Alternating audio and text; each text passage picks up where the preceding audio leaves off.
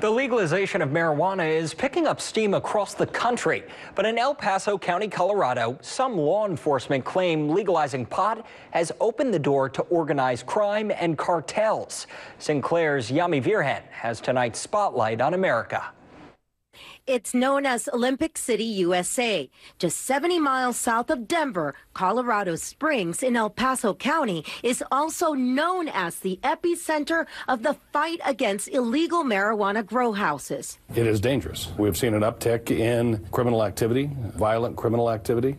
Sheriff Bill Elder has taken a strong stance against marijuana crimes and executes the highest number of warrants in the state of Colorado. This is not your dad's marijuana. This is not ditchweed.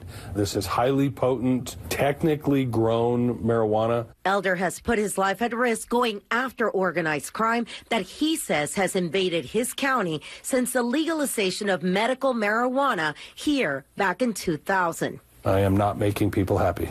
That's my job. He says that some of the criminal groups he's targeting are from the countries of Laos, Mexico, and Cuba, all of whom are growing vast quantities of weed in his county that's then trafficked to black markets elsewhere. It's not organized crime like you like you picture, you know, the mafioso of years ago, but they are organized. The sheriff tells us that the Cubans in particular have shown they will do anything to protect their product. The Cubans are pretty territorial. They they own the area and, and most people know it.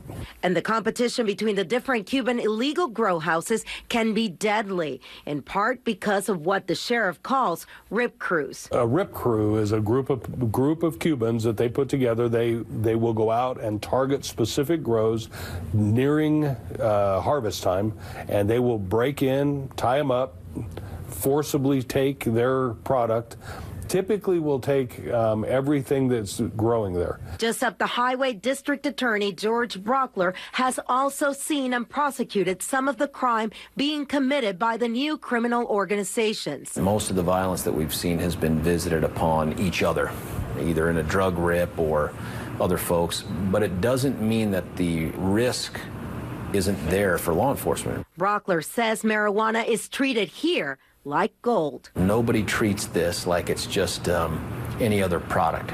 They treat it like it's gold, and they're willing to trade your life for it or their own if need be.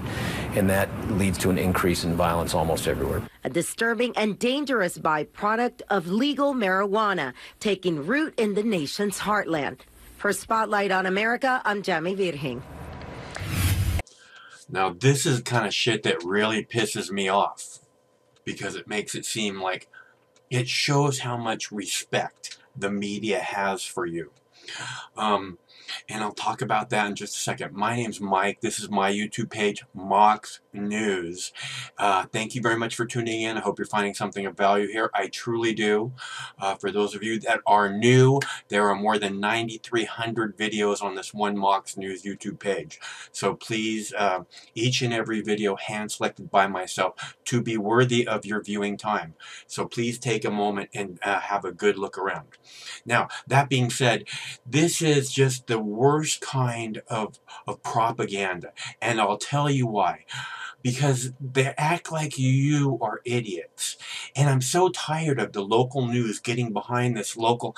I mean, you need to serve the people in your community. The people in your community, KOMO News, Washington State, want marijuana legal. So stop with the negative police state propaganda because it's incredibly disappointing that you don't serve the people of your community better than this reefer madness, propaganda, drug war, police state, nanny state garbage.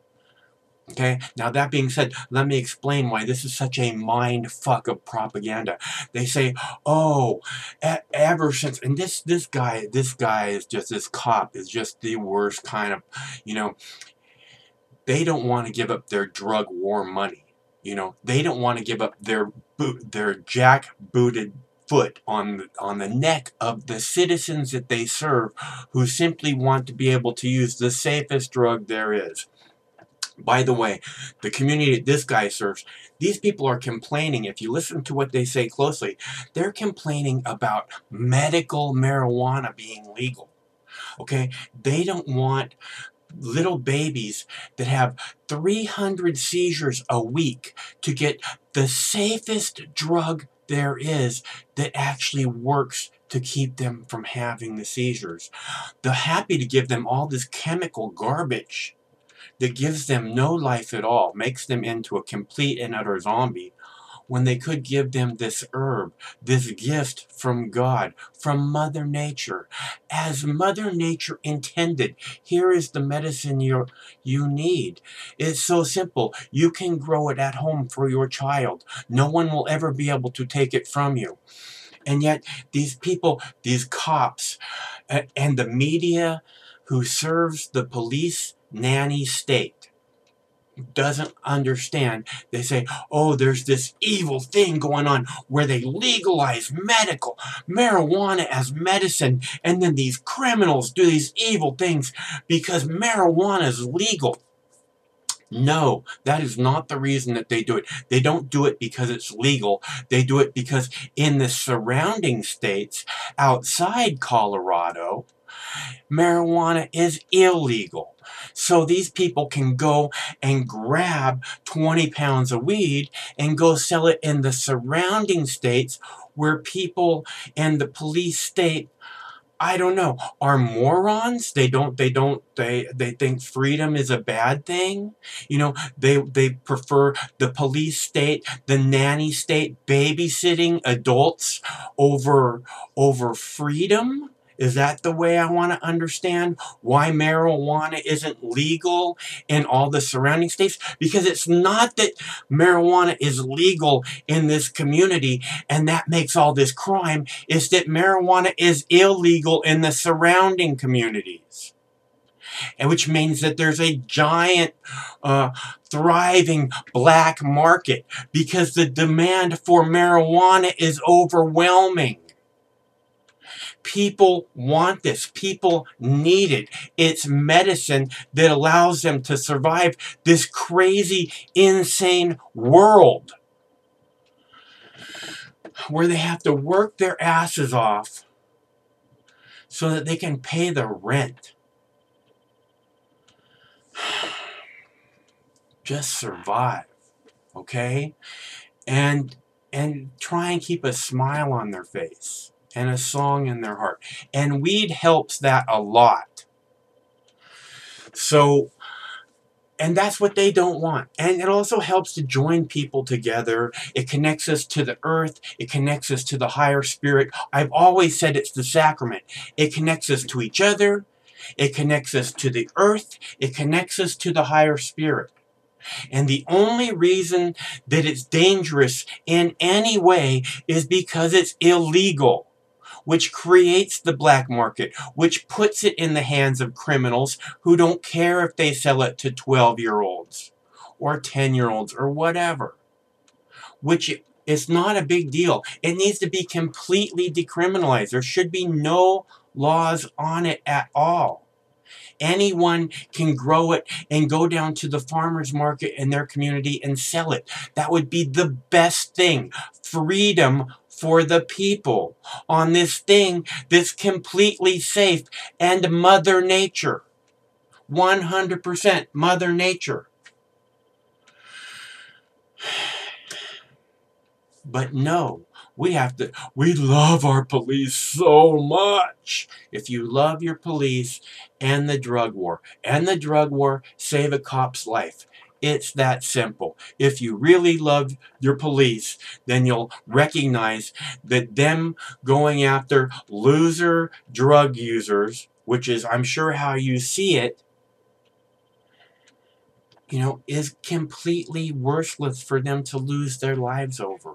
And the drug war save a cop's life. Okay, if you really love your cops.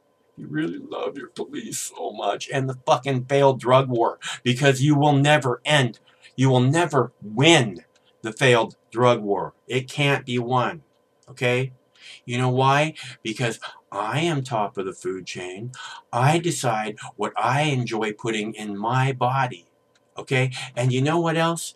Humans don't like being told what to do. Okay? uh, which reminds me of this song. Fuck you, I won't do what you told me. Fuck you, I won't do what you told me. That's how people respond to to over intrusive uh, babysitters. Okay?